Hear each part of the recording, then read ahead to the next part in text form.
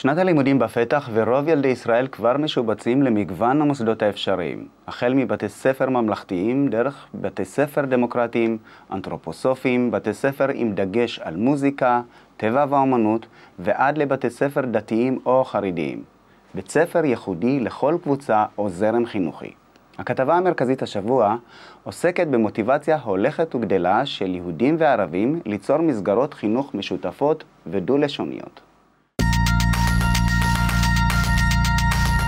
רוב הערים המרכזיות בישראל הן ערים מעורבות. יהודים ופלסטינים חיים בהם יחד.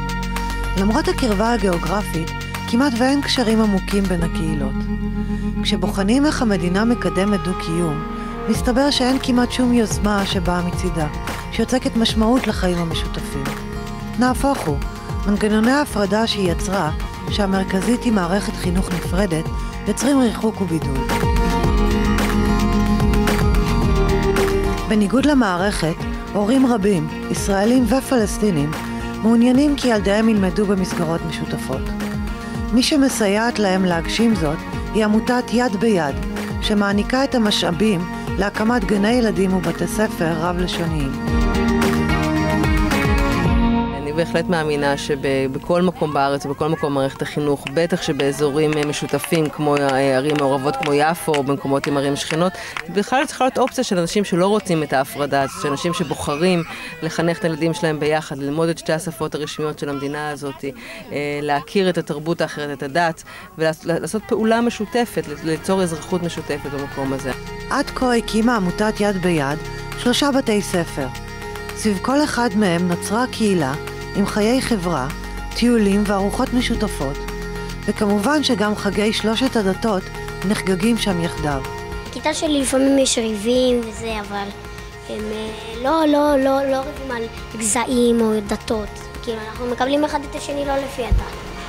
הבית ספר שלנו מדהים. יש ביהודים, ערבים, הכל. משחקים ביחד, לומדים באותו כיתה, לומדים ביחד, לומדים, כל אחד לומד, הערבי לומד על החיים של היהודי, והיהודי לומד על החיים של הערבי. אני רוצה להתקיים פה בקהילה הזאת ולהתקבל כמו שאני, אני רוצה לדבר על העוולות שעברו העם הפלסטיני, אני רוצה להיות אה, אמפתית לדברים שהעם היהודי עבר ואני לא רוצה שאחד יבטל את השני. בישראל תשע ערים מעורבות. ביניהן תל אביב-יפו, חיפה, ירושלים ובאר שבע. נשאלת השאלה איך זה שמכלל 4,500 בתי הספר הקיימים ברחבי הארץ, רק חמישה הם בתי ספר דו-לשוניים. זה לא קל להיות בבית ספר כזה. זה נורא, הרבה יותר קל להיות בבית ספר שהוא... קוואט און קוואט רגיל, בית ספר שהוא רק פלסטיני, בית ספר שהוא רק יהודי, ההבנה של מה בית ספר כזה יכול לעשות היא גם, היא גם די חדשה בחברה הפלסטינית, בחברה הישראלית בכללותה. ולכן אין מספיק בתי ספר כאלה.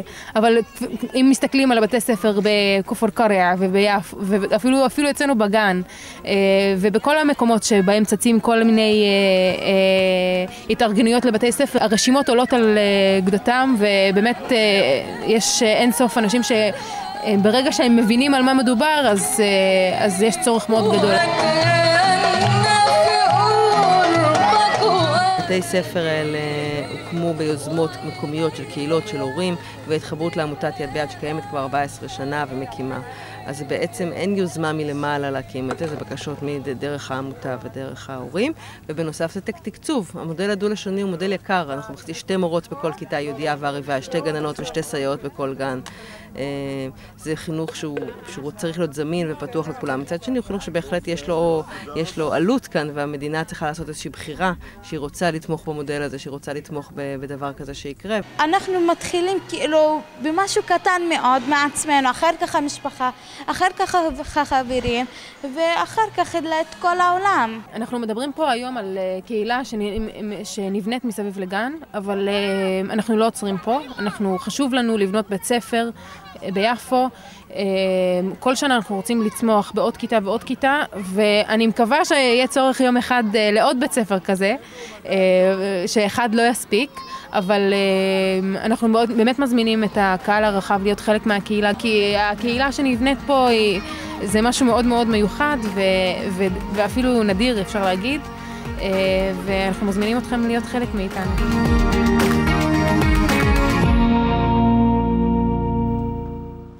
בימים אלו מוקם ביפו גן ילדים בליווי עמותת יד ביד, אשר ממנו צפוי להתפתח בעתיד בית ספר דו-לשוני נוסף. במהלך הכנת הכתבה פנינו לגורמים במשרד החינוך, אך הם סירבו להתראיין לכתבה.